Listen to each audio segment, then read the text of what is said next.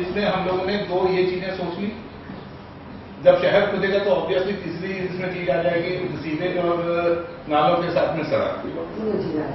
क्योंकि देखिए साहब ऐसा है कि सड़क के बीचों बीच हम पाइपलाइन भी है और नालियाँ जहाँ पर है वहाँ के उसके पास में हम बिछाएँगे सीवेज ताकि पानी की लाइन और सीवेज लाइन में कहीं मिक्सिंग ना हो। सर का अंदाज हो। चलेगा। तो ये जो ओटले ओटले जो खत्म हो जाएगा सुंदरता भी बढ़ जाएगी हाँ चोरी नहीं नहीं देखिए दो चीज़ें मैं अभी जैसे बता रहे कि लॉन्ग टर्म प्लान और शॉर्ट टर्म क्योंकि इसमें क्या होता है कि पहले तो एक हमको बनाते हैं प्रोजेक्ट रिपोर्ट जैसे ये बनी हम ज़्यादा चीज़ें इसी से लेंगे। जो हमारा सिटी डेवलपमेंट प्लान बना था जय नामी उनका इसी में से इसका सीधे सिस्टम भी बना हुआ है पानी का सिस्टम भी बना हुआ है। इसके बाद में क्या होता है कि इसके बेसिस पे डीपीआर बनती है डिटेल प्रोजेक्ट रिपोर्ट उसमें स्टार्ट से? हम्म? इसमें स्टार्टिंग कहाँ से? पूरे शहर